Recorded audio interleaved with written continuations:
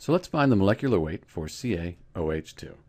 Looking on the periodic table, Ca is 40.08 grams per mole.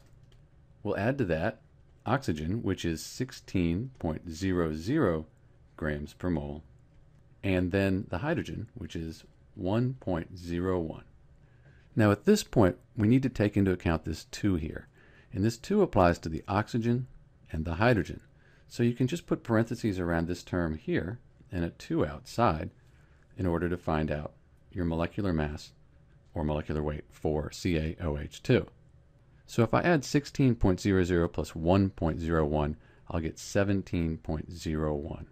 So we'll end up with, and this 34.02 number is because we multiplied 2 times 17.01.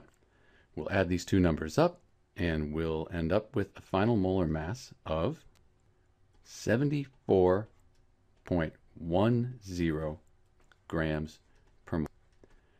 And we need to have two decimal points here because we have two decimal points in all of our calculations above.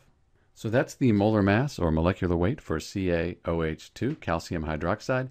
This is Dr. B, and thanks for watching.